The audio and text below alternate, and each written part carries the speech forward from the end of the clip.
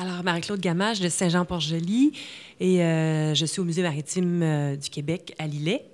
Mais mon intervention vient euh, tout à l'heure. Manon a parlé de l'importance de travailler ensemble, l'éducation aussi. on en a parlé. Mais moi, ce qui m'est venu, parce que je me suis dit, bon, on soulève toutes sortes de questions.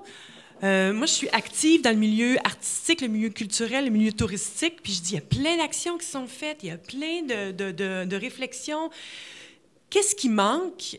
Mais moi, comme mère de famille, comme euh, citoyenne, ce qui manque, c'est pour moi l'idée d'ancrer les enfants dans le réel.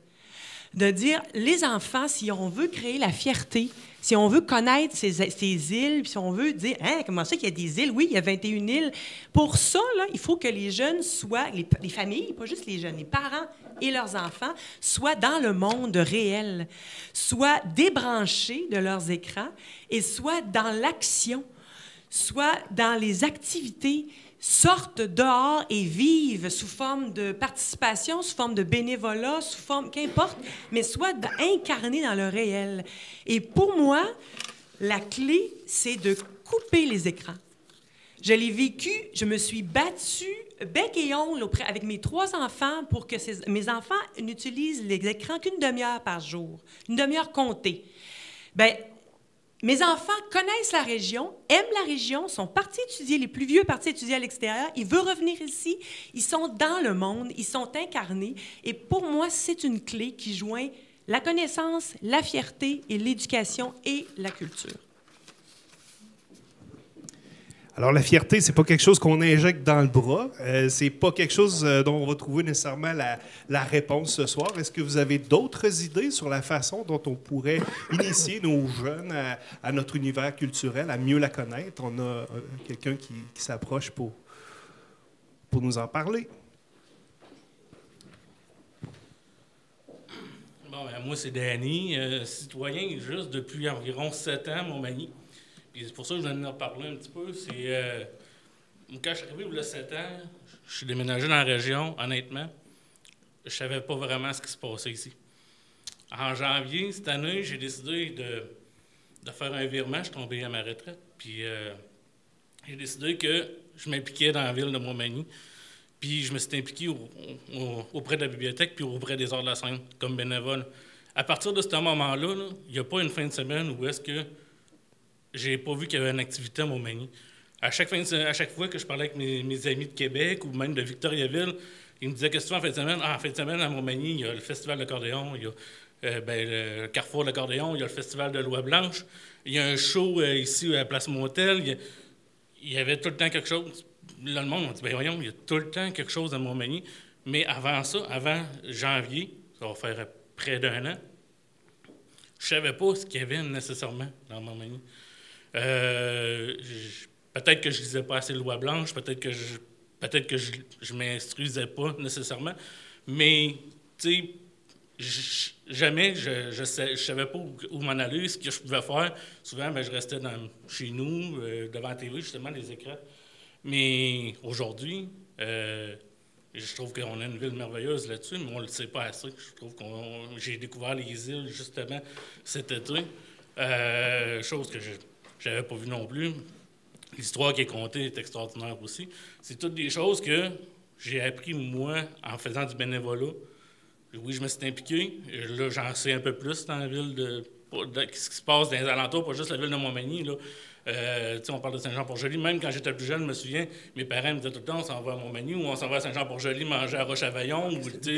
Euh, fait que c'était des arrêts qu'on faisait, mais c'était les seules choses que je connaissais de la région jusqu'à ce que je m'implique que je pense que oui, il y a une question d'implication, mais je pense que oui, il y aurait aussi une question de, euh, de publication, de, de, visibilité, parce que, en tout cas, selon moi, je pense qu'il nous manque là, un peu là, un petit quelque chose pour euh, attirer le regard vers les choses qu'on a ici à Montmagny.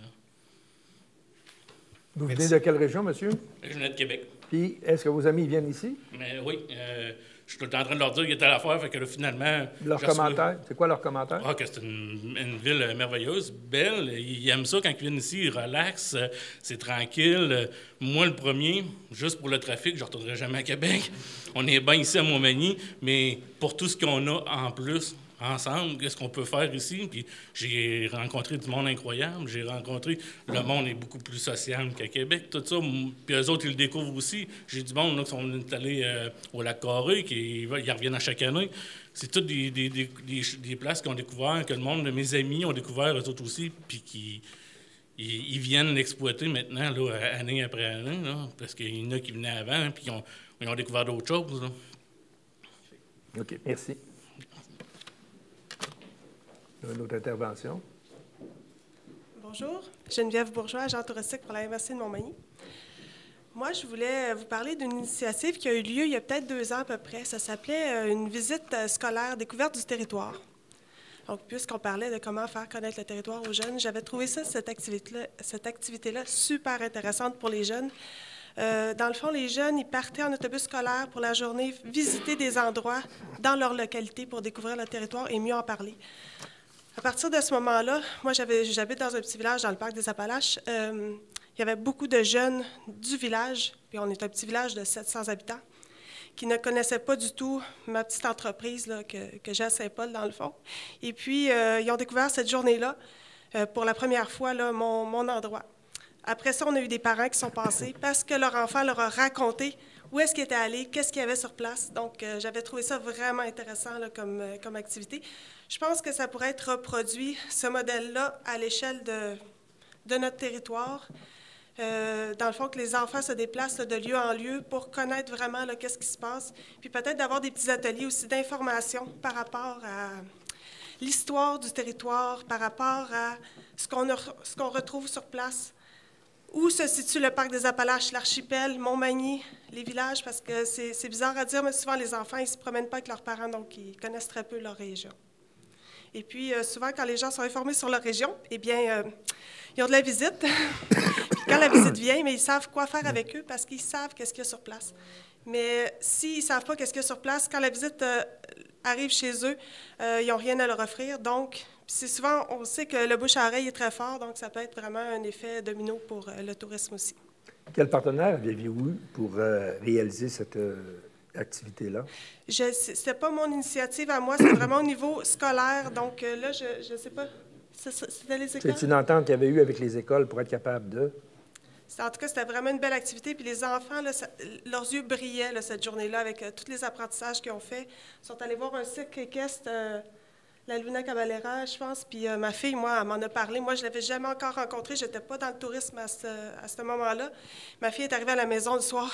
Maman, j'ai vu des acrobaties sur les chevaux. Puis je dis, ah oui, mais où ça?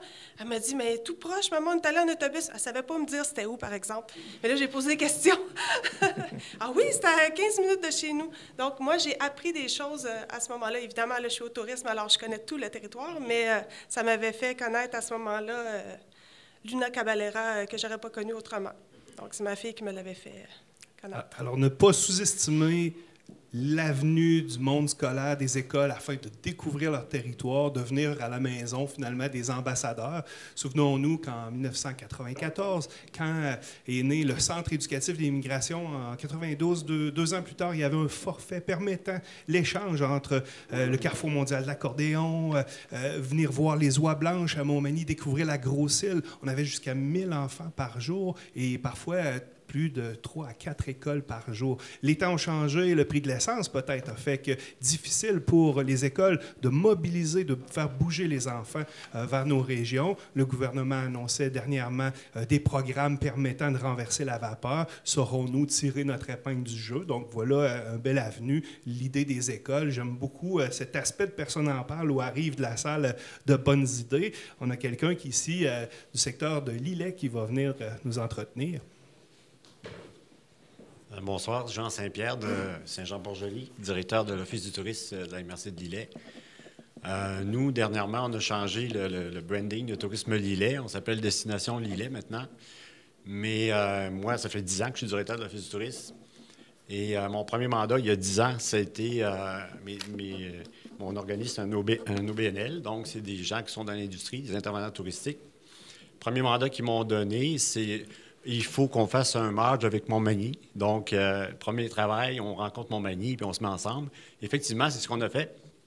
On a formé euh, Tourisme Côte du Sud à ce moment-là. Puis, euh, les gens disaient, ben à quand le divorce? C'est la première, la première chose qui nous a été mentionnée. C'est pas tellement optimiste, mais effectivement, il y a eu divorce 4-5 ans après. tout ça pour dire que je pense que le territoire, effectivement, il peut se travailler ensemble, c'est certain. C'est une offre au niveau du littoral.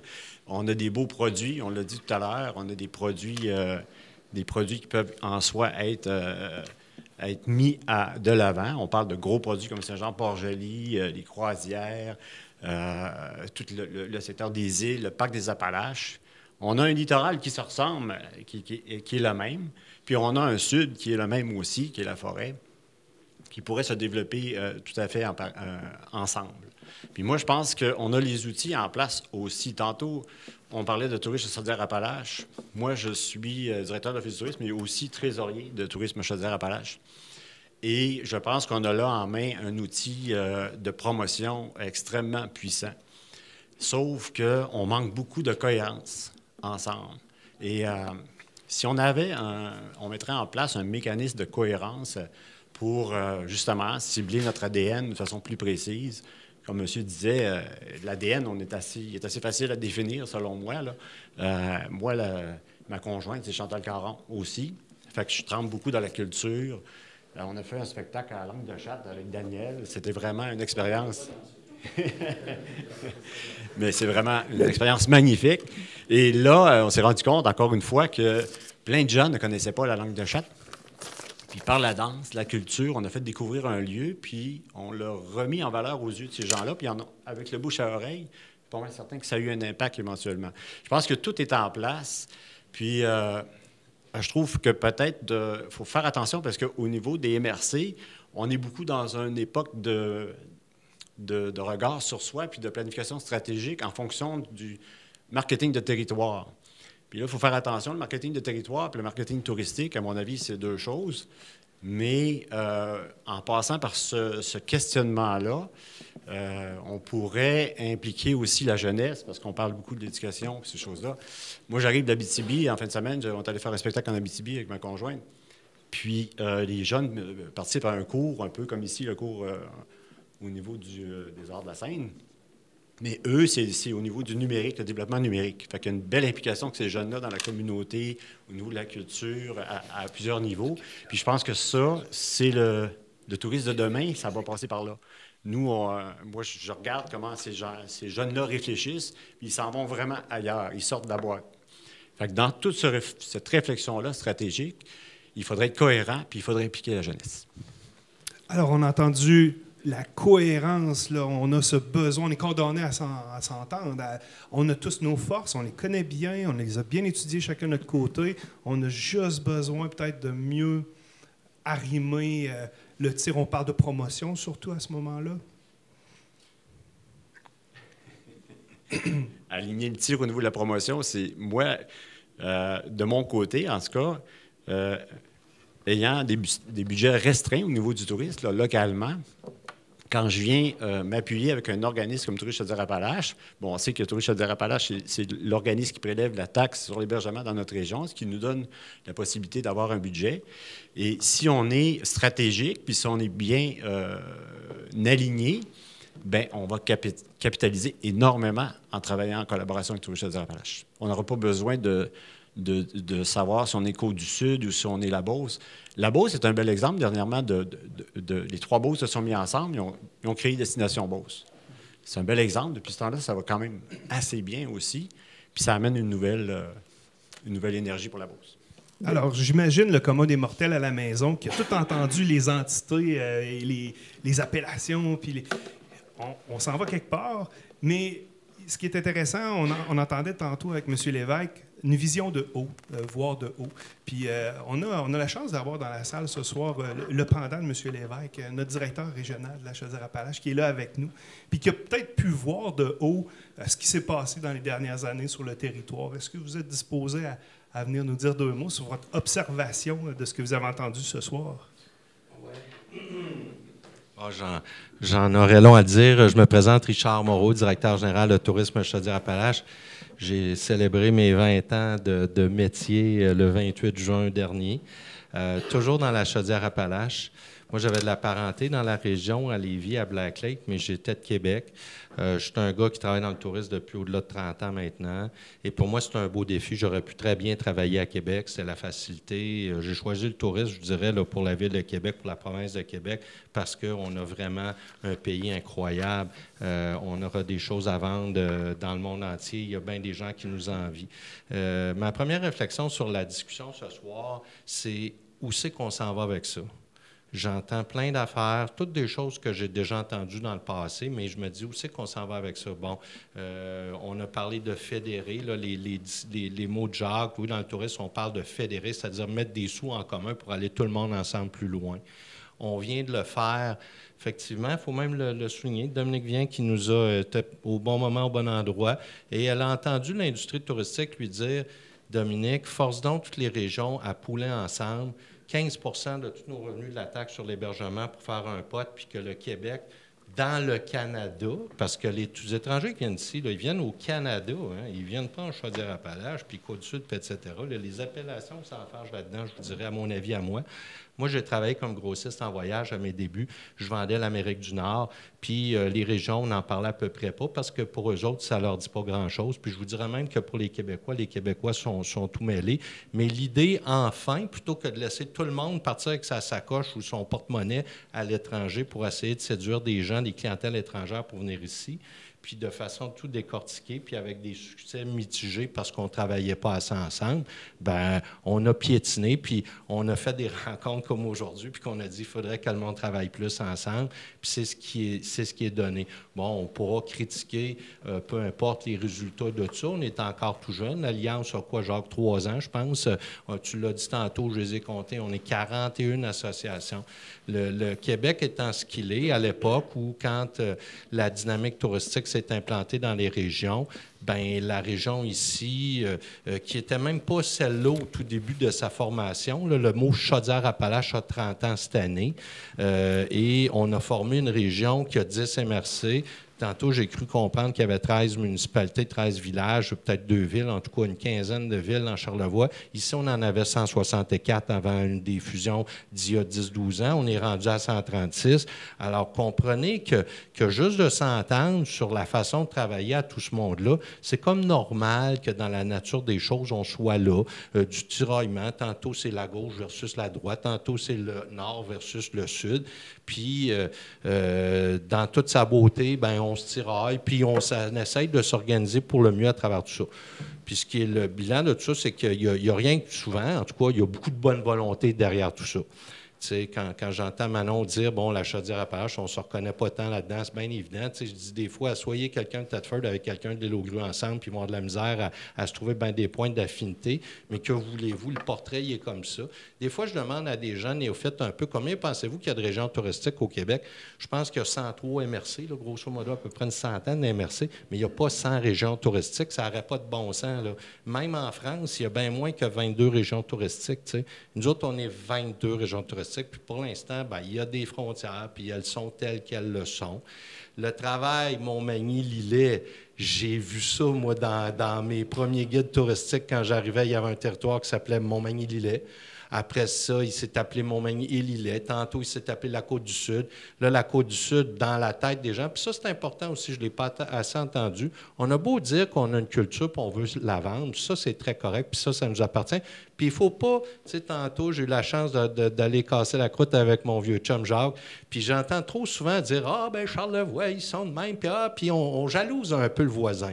Et, moi, je dis au monde, là, écoutez, vous n'êtes pas Charlevoix, là, puis notre culture est peut-être un petit peu différente que celle de Charlevoix. Alors, soyons qui nous sommes, puis travaillons avec les forces qu'on a, saisissons-les, puis, puis euh, bâtissons, euh, bâtissons l'avenir.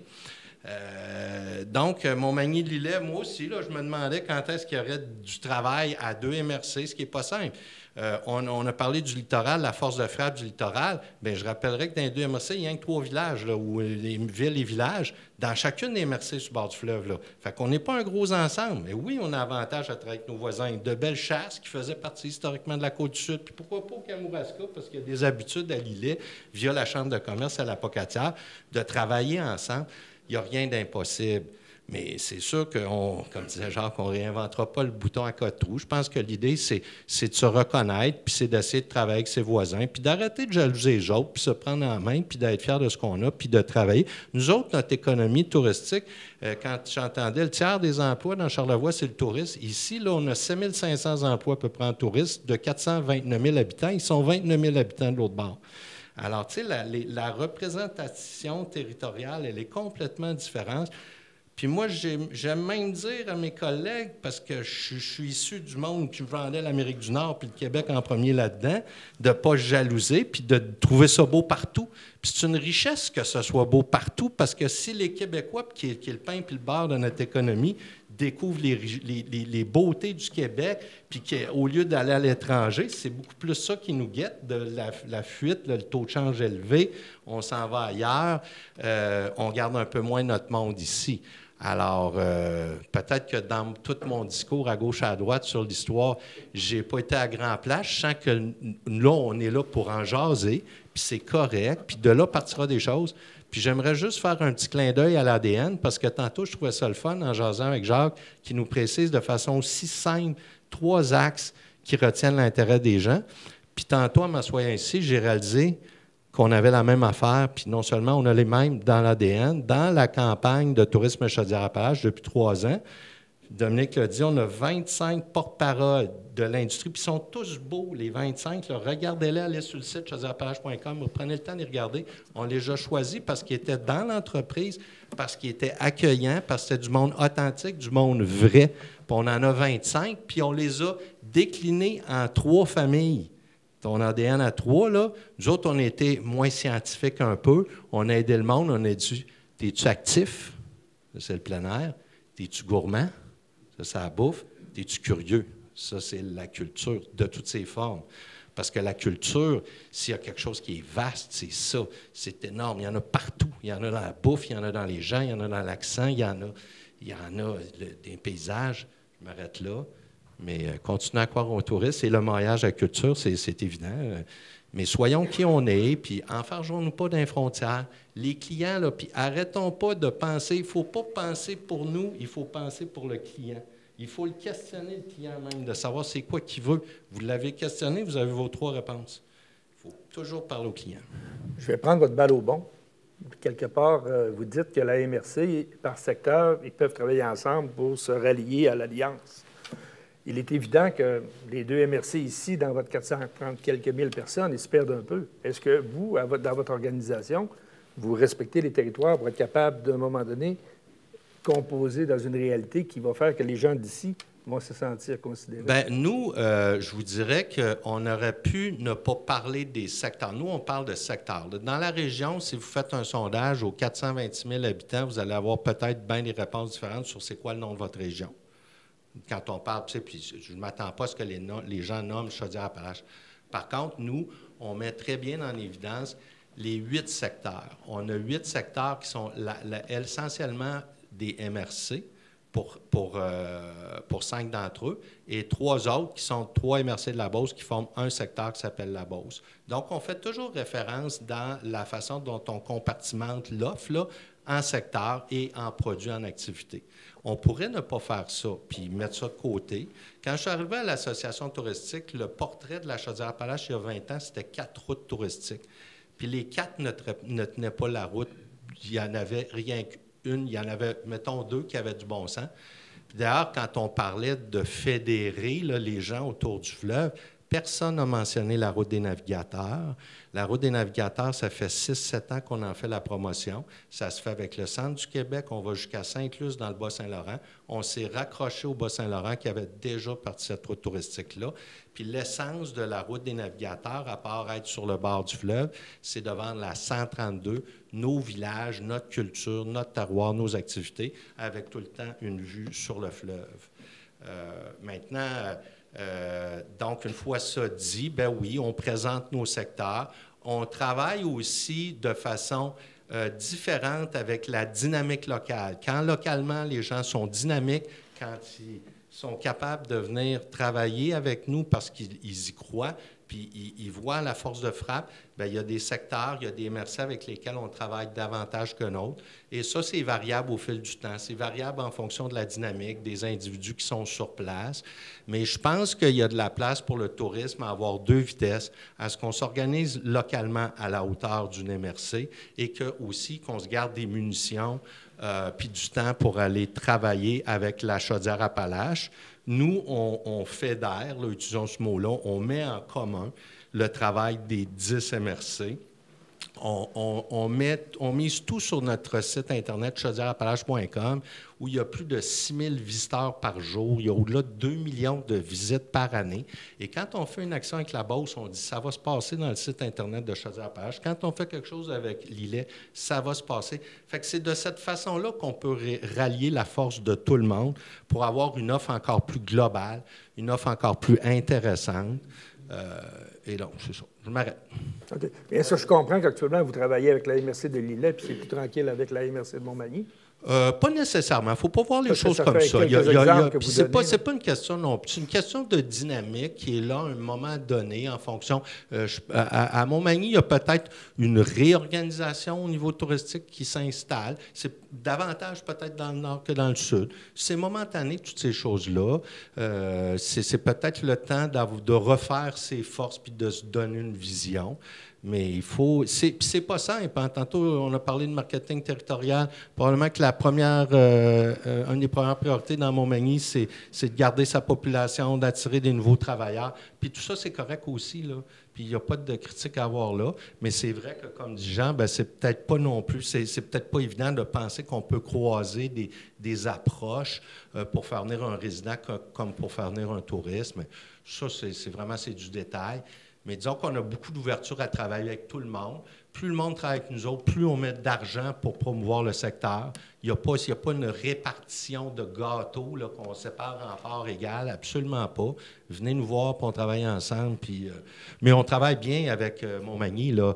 Euh, un de nos produits d'appel pour toute la chaudière Appalaches, c'est, c'est toute la dimension euh, des îles puis des fêtes. Alors, tous les produits qu'on a nommés, ben oui, on, est actif avec eux, puis on est présent. Peut-être. assez parlé. Ben, ça va bien, bravo. Euh, Peut-être revenir à mes, à mes panélistes.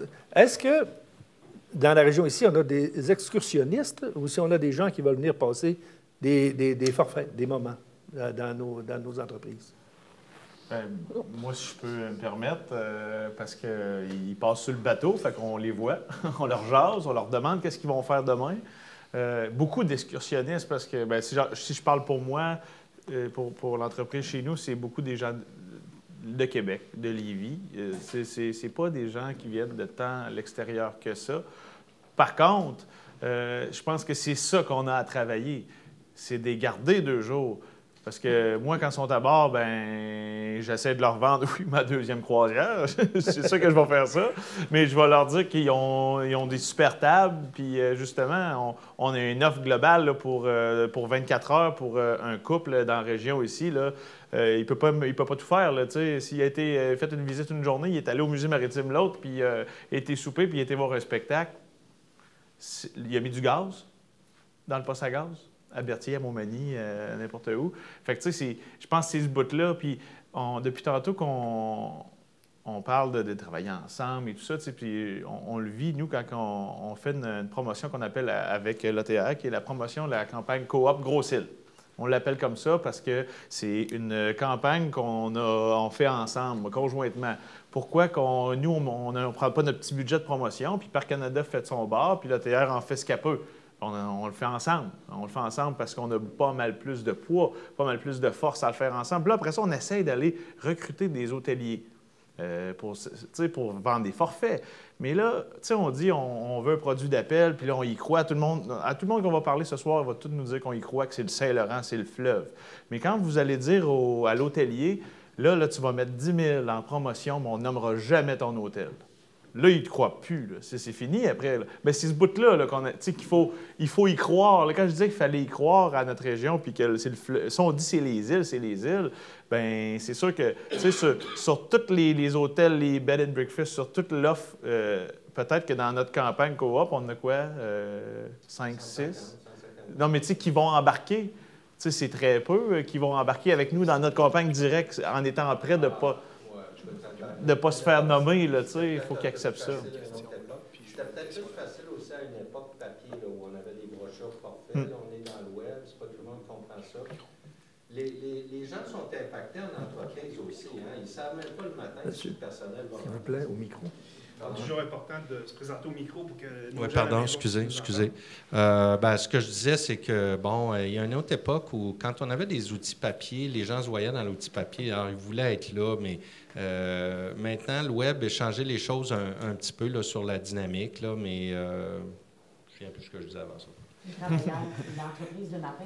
Oui, c'est ça. C'est sûr que là, euh, depuis deux ans, on l'entend, la dynamique des hôteliers, là, je veux dire, le market, puis les affaires vont bien. On est dans une sixième année de croissance en 2019 dans la Chaudière-Appalaches et probablement au Québec aussi. Là, je veux dire, on est dans des bonnes années au niveau touristique. La business rentre. Mais si les employés ne sont pas là, s'ils sont étoufflés, là, on a un problème. Et c'est ça qu'on vit depuis deux ans et ça, c'est nouveau, là.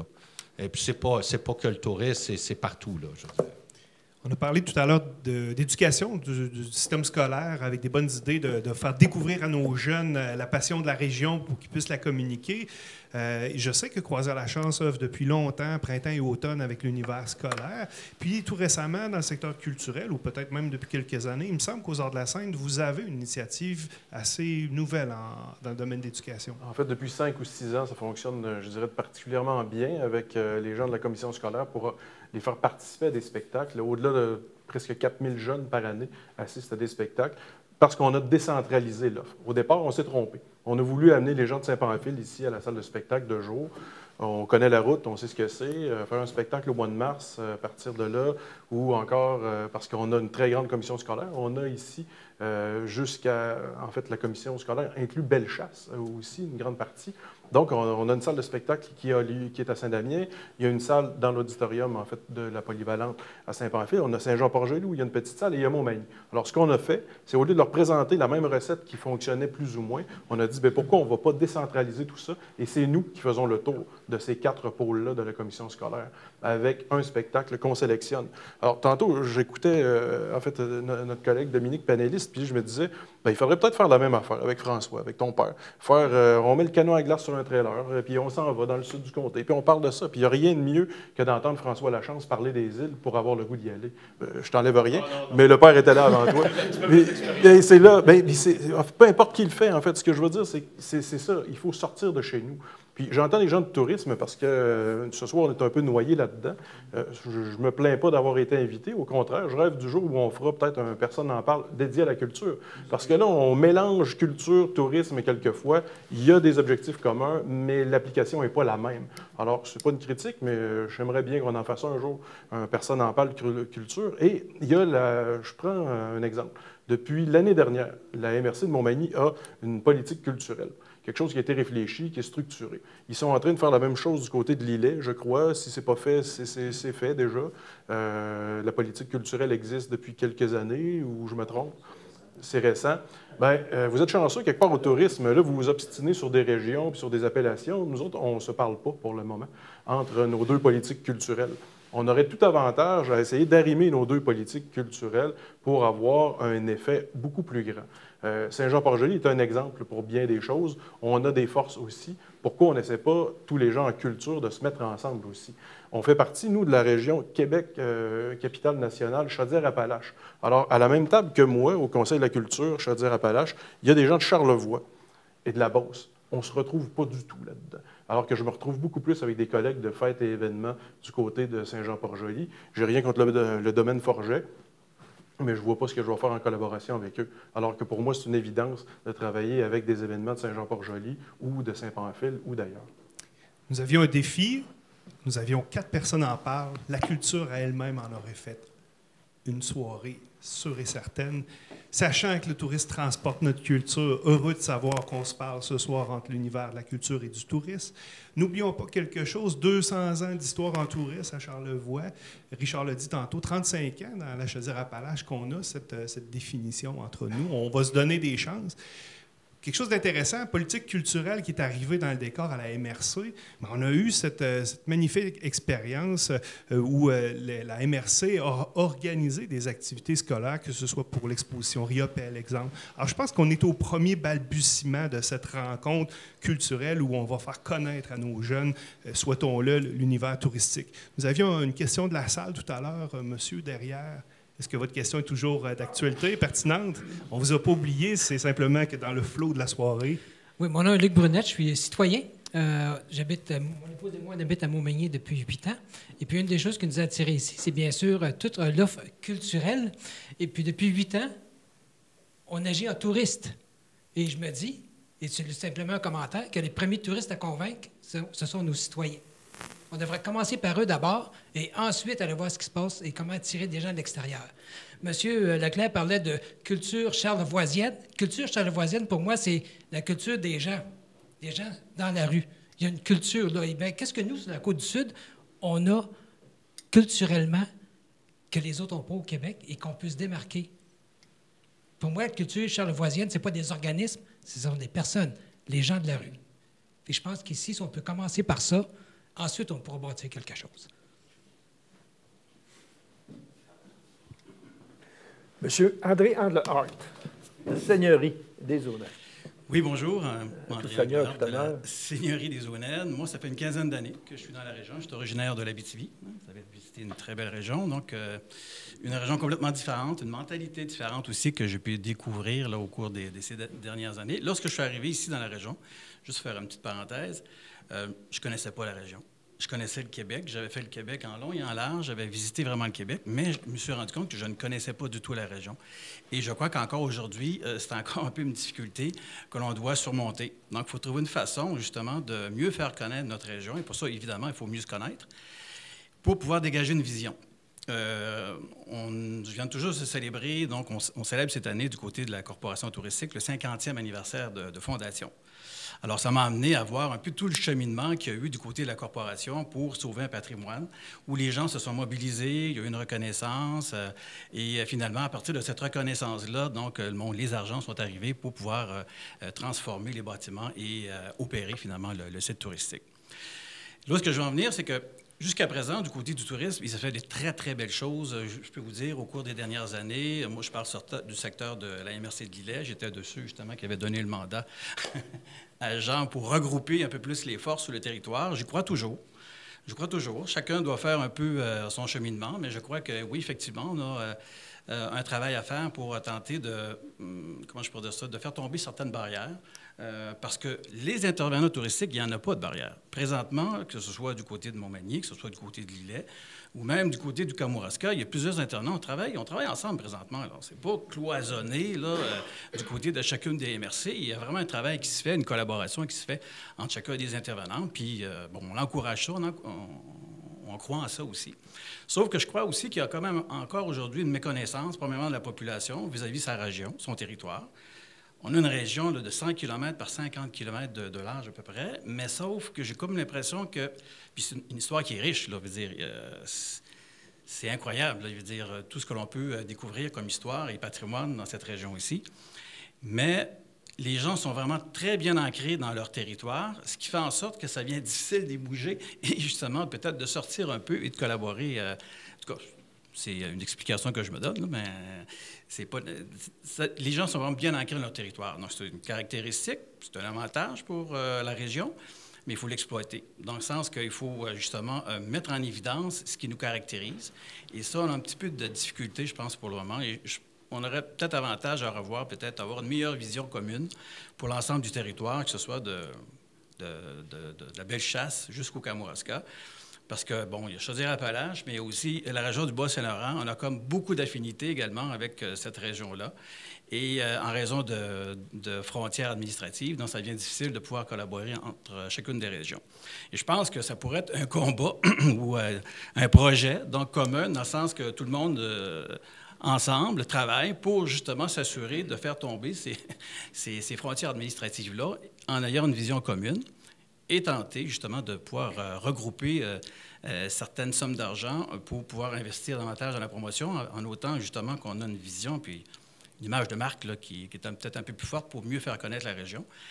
Mais aussi, c'est important. Pourquoi? Parce que lorsque vient le temps aussi d'aller demander des, une aide financière de la part du gouvernement ou de différents ministères, si on ne réussit pas à s'entendre sur le territoire, mais c'est un bel argument pour leur dire, écoutez, commencez par vous entendre, puis à partir du moment où vous allez vous entendre, on va vous écouter. Mais si on ne réussit pas à s'entendre sur des projets communs, oubliez ça, on n'aura pas le soutien du gouvernement. Ils sont là pour nous aider. Mais il faut commencer par nous s'entendre sur un projet commun puis une vision commune.